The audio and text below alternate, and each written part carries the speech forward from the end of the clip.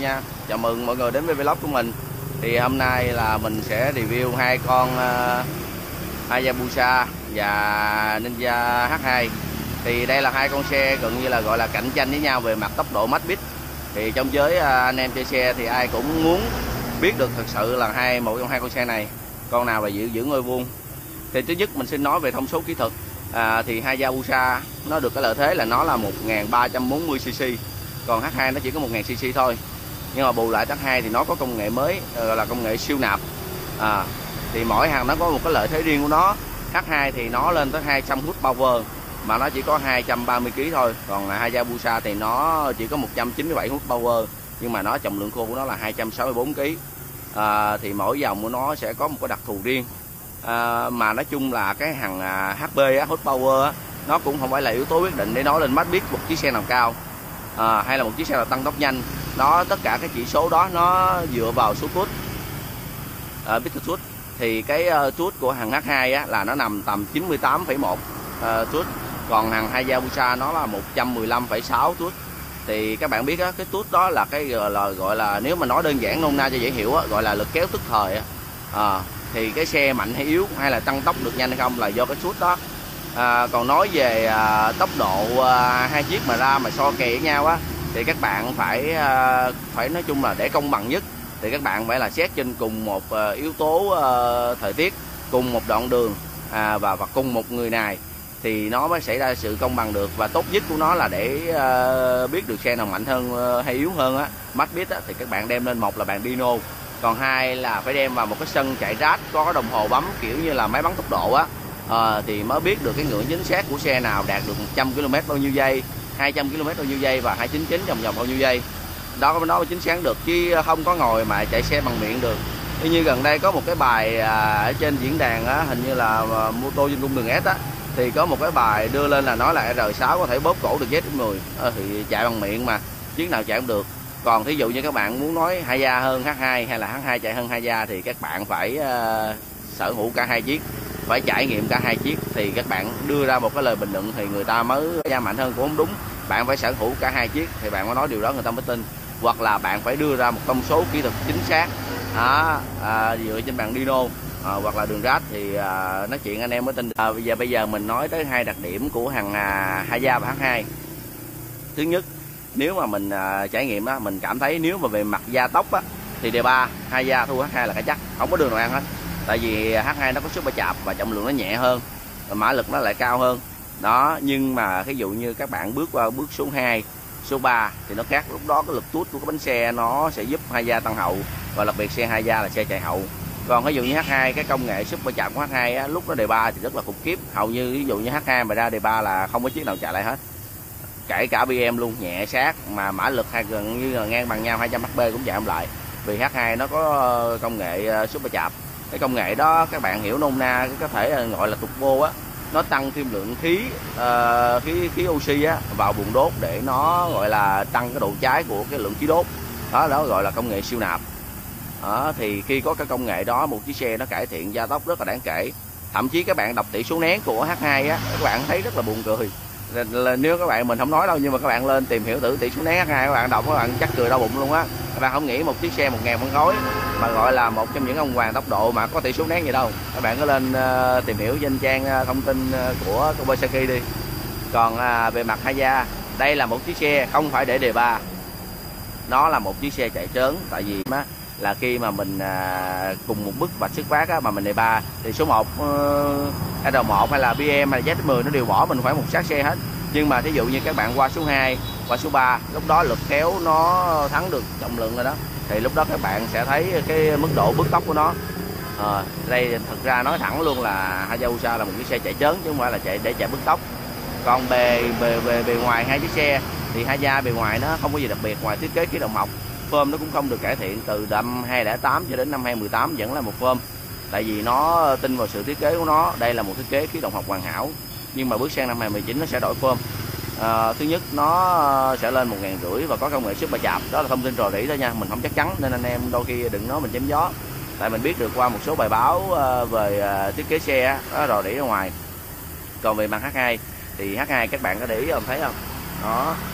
Điều đập vào mắt mình đầu tiên đó chính là dàn áo của nó được mạ chrome rất là đẹp. Đây là một trong những dàn áo hiếm hoi của những chiếc 1000cc nó gần như là không có cũ theo thời gian luôn á mình theo mình biết luôn á là nó gần như không có cũ theo thời gian luôn. Các bạn chạy mà các bạn giữ kỹ không để chạy xước thì gần như cái dàn áo này nó mới hoài vậy đó tại vì lớp gọi trừ à, gọi là phục điện như chiếc BM thì H2 nó không có phục điện thôi. Đó, đây là theo trong mắt mình đây là của một chiếc xe hoàn hảo à, thông số kỹ thuật thì các bạn có thể tìm trên Google á. Nói chung là vlog của Liêm Liêm không có cái kiểu mà trả bài. Nên ờ, các bạn ờ, muốn tìm hiểu thông số kỹ thuật đó thì cứ uh, lên uh, Google. À, đặc điểm của H2 rất là đẹp. Cái chỗ là bánh viên của nó là 200 nên uh, bánh trước 120 bánh sau 200 nên nhìn rất là hầm hố. Gai bánh viên cũng rất là đẹp. Và đặc biệt là thiết kế uh, một gấp sau nhìn rất là thời trang. Cái việc này nó tiện cho mấy anh em nào giá xe lắm nha hai gấp thì nói chung nó phức tạp với một gấp là nó giá xe dễ lắm. Đó, đây là cận kiểm gần nhất cục máy của H2 hình ảnh gần nhất, xác thực nhất. Thì à, bô này không phải là bô zin, bô này lên bô được chơi rồi. Full. Full titan, full system luôn. Đó, các bạn thấy cái màu rất là đẹp. Đây là chạy lên tự nhiên nha, không khò các bạn có để ý không? Khung sườn phát hai cũng đặc biệt. Nó không giống bất cứ cái khung sườn của Sport nào chỉ có mình nhớ có một đời Ducati nào đó mình không nhớ chính xác là nó làm có làm một cái khung sườn kiểu này nhưng mà thiết kế của nó là không phải uh, dùng cái lực đối trọng như là H2 nói chung đây là một thiết kế riêng hoàn toàn. Nó thậm chí nó còn khác hoàn toàn so với thế hệ đàn em của nó trong cùng một hãng Kawasaki mà gần nhất là ZX10 ZX10 còn chưa được cái nói với mọi người ờ, về ờ, tốc độ của nó rồi. Nên việc này không bàn cãi từ nước hậu tới từ nước hậu tới nước đề. Đó.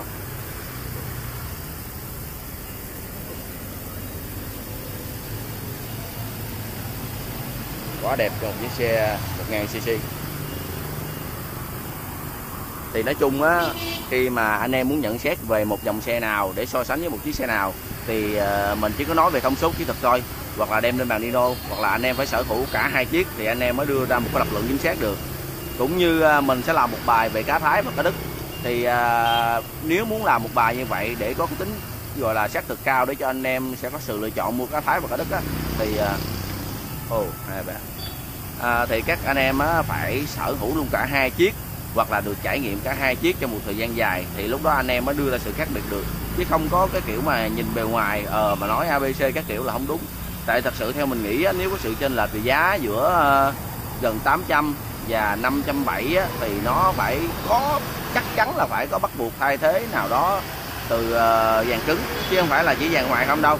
Vàng ngoài có nghĩa là phuộc uh, ờ, Ờ, lớp mâm tay thắng tay con đồ tất cả cái đó nó không có giá nó nổi 300 mà quan trọng là cục máy. Thì ờ, đã có một số anh em chạy ờ, mới mua là anh em nó chưa chạy cá đức thực sự chưa chạy cá đức. Nhưng mà anh em mua chạy cá thái thì anh em chạy một thời gian anh em nói cảm giác chạy nhanh nó nó nó hơi rung.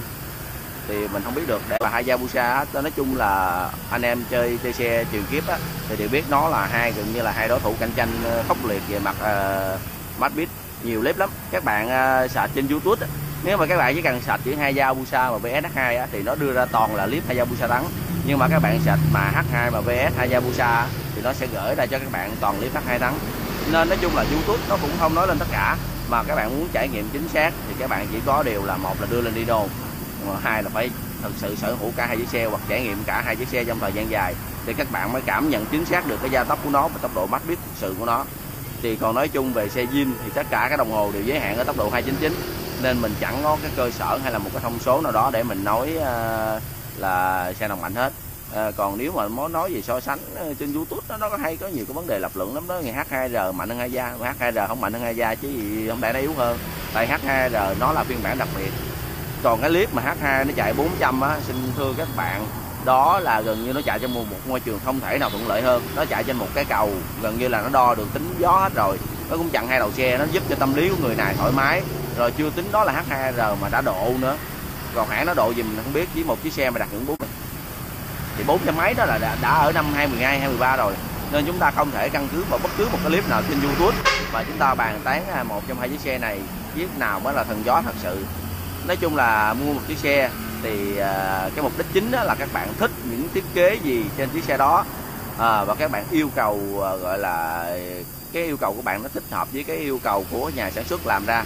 À, thì mình mua thôi chứ đừng có vì cạnh tranh một cái ngôi vương nào đó ví dụ như ngôi vương công nghệ hay là ngôi vương tốc độ hay là bất cứ một cái ngôi vương nào đó nó ảo lắm. Thì nhà sản xuất mà các bạn biết quảng cáo mà tại sao người ta không gọi là quảng heo quảng gà mà gọi là quảng cáo?